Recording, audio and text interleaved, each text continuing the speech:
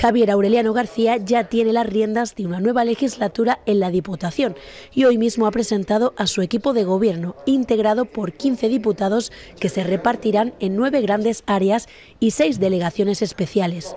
Fernando Jiménez seguirá en presidencia, con competencias ahora también en patrimonio histórico. De este área dependerán vivienda y captación de fondos europeos.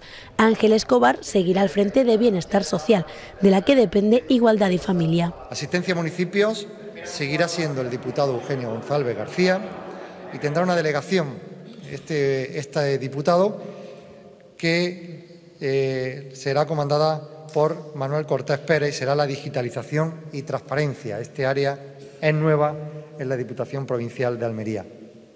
Luego, cultura, cine e identidad almeriense, un área, como bien sabéis, que ayer hablamos mucho de eso en el discurso de investidura, lo llevará Almudena Morales Asensio. Deporte, vida saludable y juventud, será el diputado José Antonio García Alcaina. Economía será para Álvaro Izquierdo y Antonio Jesús Rodríguez asumirá fomento, infraestructuras y agua, que se divide en empleo agrario y sostenibilidad.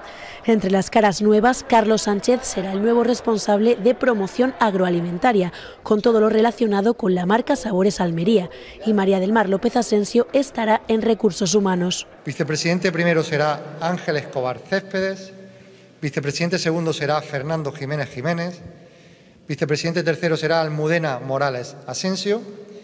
La vicepresidencia cuarta será para Eugenio González García y la vicepresidencia quinta será para José Antonio García Alcaina. El portavoz del equipo de gobierno será Fernando Jiménez Jiménez y habrá dos portavoces adjuntos. Uno será Antonio Jesús Rodríguez Segura y Carlos Sánchez. Todos los miembros del equipo de gobierno tendrán dedicación exclusiva para centrarse en los retos que les plantee esta nueva legislatura.